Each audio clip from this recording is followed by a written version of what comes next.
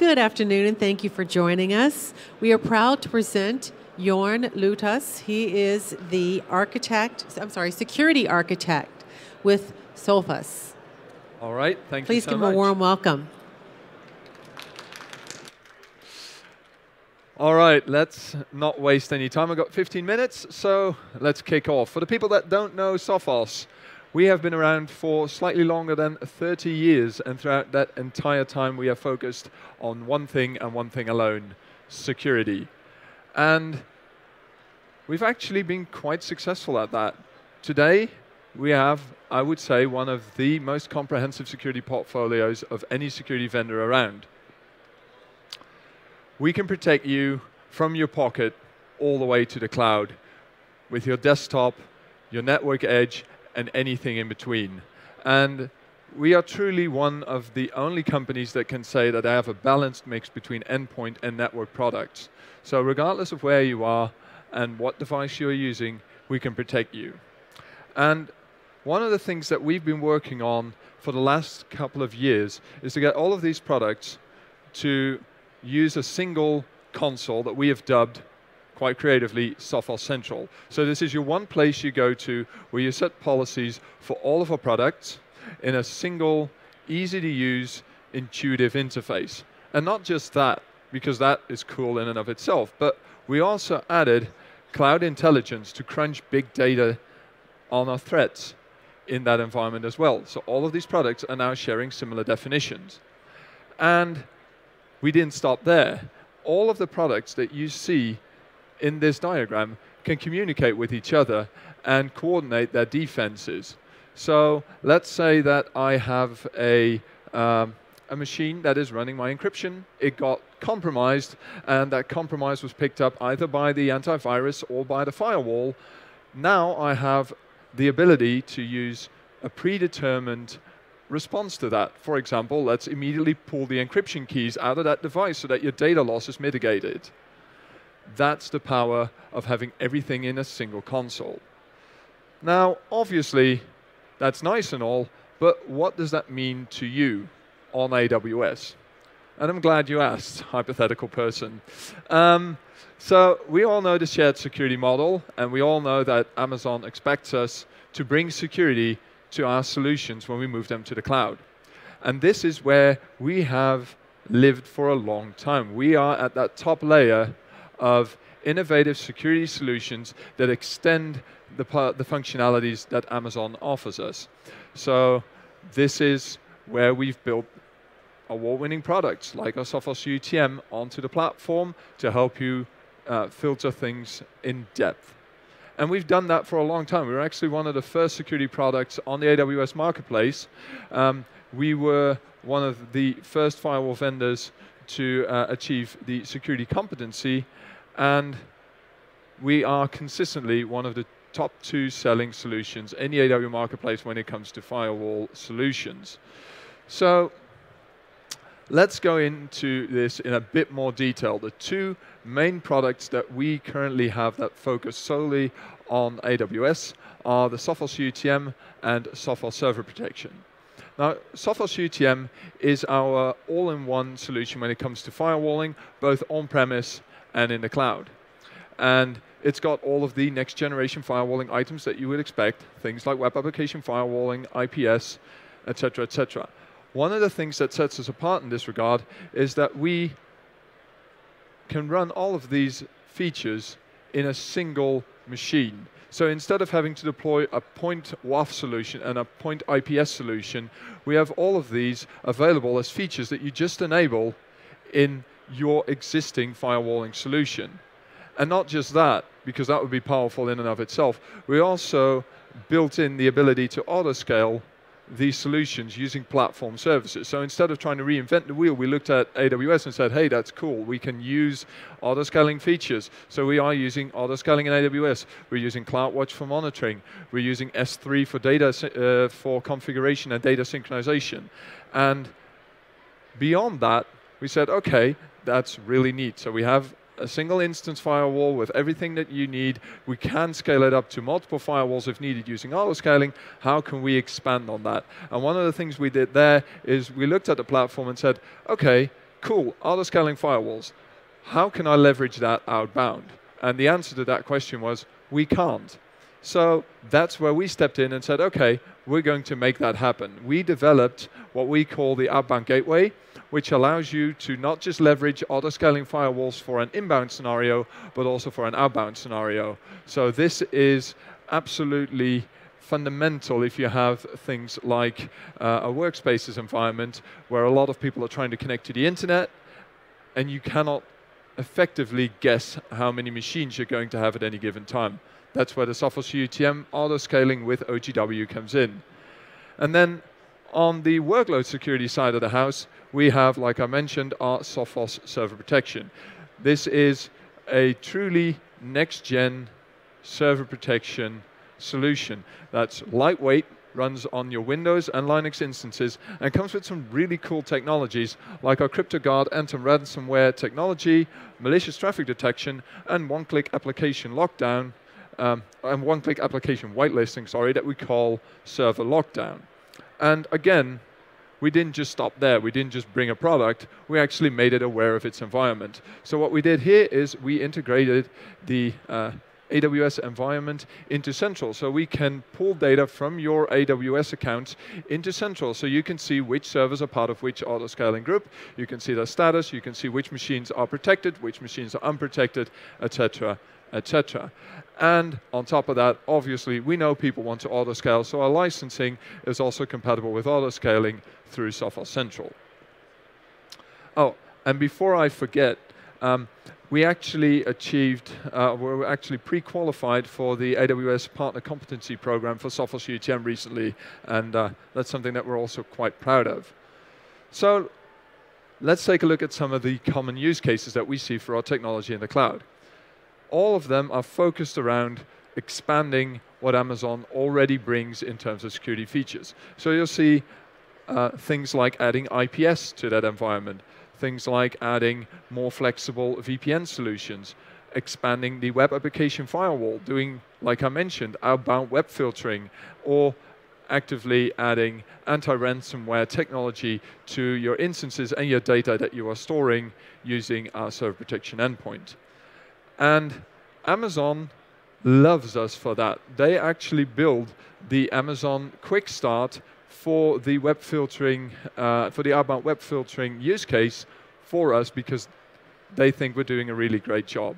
So I only have seven minutes left. I can't talk about all of the awesome use cases that we have. So let's focus in on the web application firewall and give you a bit of a feel what I mean with extending platform functionality. So we all know the Amazon AWS web application firewall. It comes with some really nice sophisticated filtering that will help you protect your environments from SQL injection, cross-site scripting, uh, service level DOS attacks, which they recently introduced with the WAF Shield, and some reputation-based connection filtering. And those are great features. We said, cool, let's take those and expand upon that. So with OAuth, you get some additional features like having form hardening, cookie hardening, URL hardening in there. We do virtual patching. But on top of that, we also do things that are more uh, focused on the data aspect of protecting the WAF. So you'll see things like being able to MIME filter for particular file types to prevent data loss or enforce policies for people who want to upload things there. And more importantly, you'll also find the ability to do in-stream anti-malware scanning to anything that gets uploaded there. Or on the other side of the house, we can add authentication support to applications that do not support authentication themselves or extend them with things like multi-factor authentication. So enough talking, I'm going to try and demo some of that. So in the first demo, I'm going to uh, go and show you how we can extend the authentication that you currently might have on your applications using the WAF. So as you can see, I built a nice virtual web server. It's been configured uh, to send traffic to a particular set of backend servers. And we are applying security policies based on a path basis on those instances. So if we go to the client, and we open the website, it's something that I came up with. It's an imaginary consulting company, uh, imaginary consulting company, and as part of that, they have a support area. So if we click um, on the support link, it'll tell me that this is for customers only. So obviously, this is something that they would want to protect, and just having a, sim a single basic authentication pop-up is not ideal. So we can log in, we can get to that site, but now let's add some security. So let's go back to the Sophos UTM and see how the WAF would help you enforce strong authentication there. So the first step that we want to do is go to our reverse authentication and make an authentication profile, this one, that uses forms for authentication instead of basic authentication. Let's add some users there and let's make sure that we actually do delegate authentication to the backend because we're extending authentication, not replacing it. And while we're at it, let's also make sure that the people that want to log into this website actually need to use a token. So you can use either a smartphone app that we provide, or you can use any other OAuth based uh, token solution with that. So that's what I did here. And my user, when he wants to log in, is going to have to authenticate because we added that checkbox there so that he, when he uses the WAF, he'll need to show us authentication. We'll apply it to the path that we have for our website.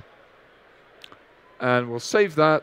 And then when we go back to the client, you'll see that when I reload the web page, it's not just going to show me the publicly available section, because obviously I did it only on a path basis. It will, as soon as we open the protected area in our support, show us a form. And now we have a secure authentication without having to touch the backend application at all. So even if you're working with legacy applications and you want to enforce strong authentication for them, that's where the Sophos UTM WAF can truly help you extend that uh, application and provide additional security. But that's just one use case. The other use case that I personally really like, if the clicker works, is to do in-stream anti-malware. So in this case, I have set up another service, Pydio, for those of you who are uh, open source aware, which is basically a Dropbox alternative. And in this case, it is completely unprotected. I installed no antivirus on it or whatever. So I sign into my Pydio environment and I'll actually show you that I can upload an EICAR test file and it gets accepted without any sort of security. And not just that, I can also download an EICAR test file. And that obviously is something that you don't want because what's worse than having someone upload a virus to your server, it is them downloading it from you because that is the sort of, uh, sort of stuff that makes you the next headline. So this is obviously not ideal and we want to prevent people from doing either. So while we walk through the demo, like I said, you'll see we can take an EICAR file and it will work perfectly fine. So let's move on from there and actually look at how we would want to protect that. So if we leave the demo client, go to a web application firewall, let's create a firewall profile that will filter for malware. And I actually created one that I've uh, creatively uh, dubbed the uh, uh, malware filter. And what you'll see here is that we will be filtering using a single engine. You can use two engines in the Sophos, but we're using a single one for this demo for speed. Um, and I'm going to filter both uploads and downloads, and I will be dropping any file that I cannot open due to encryption or due to some uh, attacker trying to be crafty and trying to work around this. So let's apply that to the virtual web server, hit save, and let's go back to the client. Now on the client, let's do the exact same thing I did just now. Let's try and download a virus. Nothing happened. And the next step, let's try and, oh, I'm, I'm running ahead of myself. When I download, you'll see it's completely blocked. When I now try and upload a virus, like I did last time, you'll actually see that it will give you a very nice error for the client that will let them know that even though they're uploading an, an, a, a virus in a zip file, it will still tell them, wait, you're not allowed to do that. And if you go from here and you actually need forensic details to look into this later, there's full logging on the Sophos UTM built into the product that will actually tell you, okay, we recognize that someone was trying to upload something that was picked up by the anti-malware filter, and then a few lines below that, it will tell you exactly which signature it found in the stream.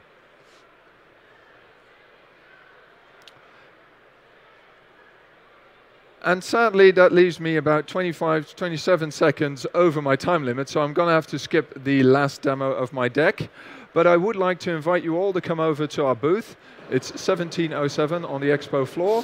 And before you leave, we have some awesome socks to give away. So thank you so much for joining us for this session.